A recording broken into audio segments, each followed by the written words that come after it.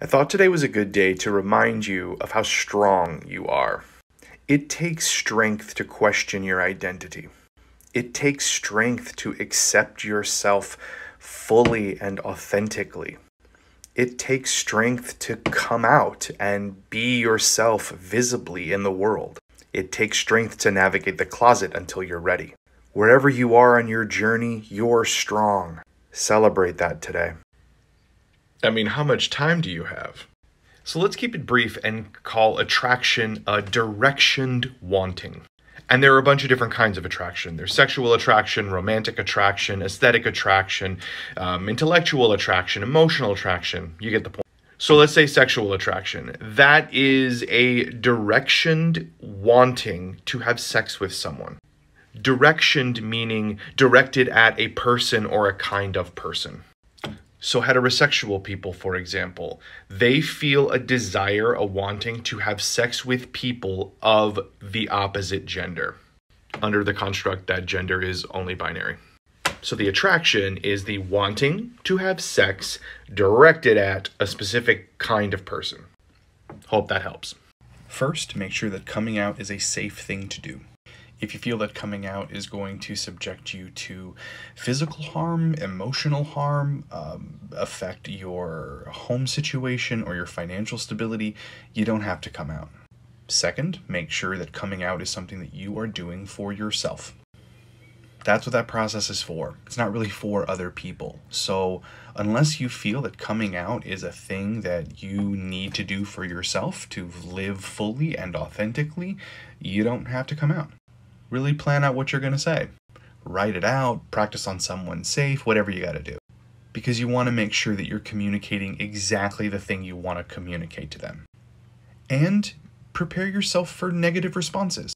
Go through all the scenarios in your head and make sure that you're ready for them, uh, ready to respond to them and experience them. Hope that helps. All right, just a reminder your queerness isn't a free pass to be racist. Your queerness isn't a free pass to be misogynistic. It's not a free pass to be ableist. If anything, queerness makes us more responsible to pay attention to these things because we understand along one axis of our identity what marginalization feels like. Real equity for queer people has to include anti racism, anti misogyny, anti ableism. Otherwise, it isn't real equity for all queer people. So, my friend Amazon of Cards recently posted a video uh, talking about racism in the Ace and Aro communities, specifically asking when are we going to have a conversation about racism in the Ace and Aro communities. And I agree. So, first off, um, I'm white, so that is the perspective and the point of view that I'm coming from and uh, the place of privilege that I occupy in this conversation. So, some statistics. In 2014, AVEN did a study of openly asexual people, and uh, that study found that 75% of the openly asexual community identifies as white, and the rest of racial groups, all other racial groups, only comprised about 25% of our community, open community. Honestly, it's kind of wild. It's a preposterous idea to believe that white people are just naturally more prone to being asexual than every other racial group. So clearly, something else has to be going on. And one of those things is how whiteness operates. You know, because whiteness is privileged in our culture as a whole, it means that whiteness is going to be privileged in cultural spaces, like our ACE community. So, a white person discovering that they're ace or aro are going to be more welcome in cultural spaces where ace and arrow people are. Uh, they're going to see more of themselves represented. So, they'll be able to say, like, oh, yeah, so this is clearly my experience in my community because I see myself in it. For everyone who is not white, uh, that is not the case, particularly in the representation area.